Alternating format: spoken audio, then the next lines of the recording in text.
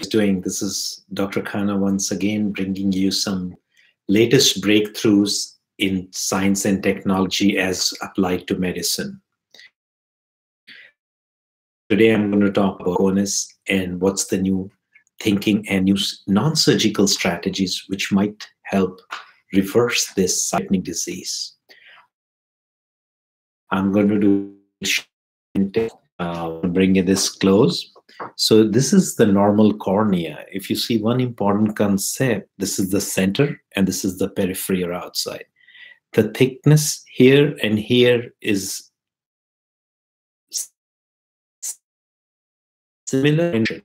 Happens, the fibers which are like this in the center, they get pushed outside. And that causes the thinning. But the fibers do not disappear and that's a very important thing both patients and doctors and surgeons and everybody concerned with keratoconus has to remember just getting pushed aside. Now, why they get pushed aside?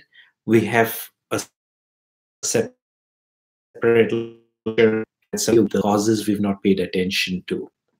But in here, we'll just bring one most important cause, and that is rubbing. So when you rub on the center, that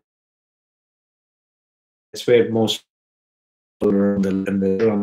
that causes these fibers to move to the side. So that means the thickness, and I'll bring this back, is one way we can identify early cases of keratoconus where the percent tissue distribution ratio is there.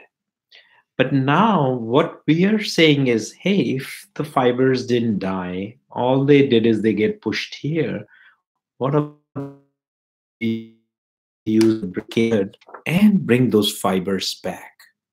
If we were able to do those collagen fibers back, you know, every from the laws of thermodynamics, every action and dream. So if we've pushed it aside, and that has caused the thinning and that has thinning has led to bulging so we've been so focused on the bulging and thinning we've not paid much attention to the cause. But because this happened, what if we are may able to bring the fibers back?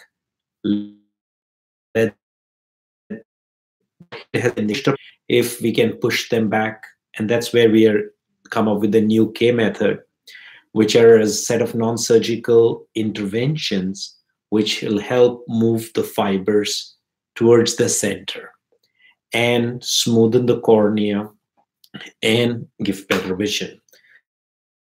So there may be two words in which will be one non-surgical and in surgical we can uh, do a couple of interventions where the ratio we can remove a circle of peripheral cornea and stitch it so the ratio becomes better or we can add cornea in the center and make the ratio better but non-surgically, we can use the opposite of pressure, which caused them to move and bring them all to the center. So we were going to be discussing the details as we go along in the next is undergoing rapid changes, both in terms of diagnosis and in terms of treatments. So if you want to keep learning, and also if you're planning to basic in practice, it is very important you learn about early detection of keratoconus because a lot of patients we were thinking are normal. We are discovering they're having shaped or like a line. So only at a certain point people get keratoconus, but anytime before the ectasia. So my friends, keep watching latest breakthrough information about keratoconus and we are going to fight this sight-threatening disease and give vision to all. Have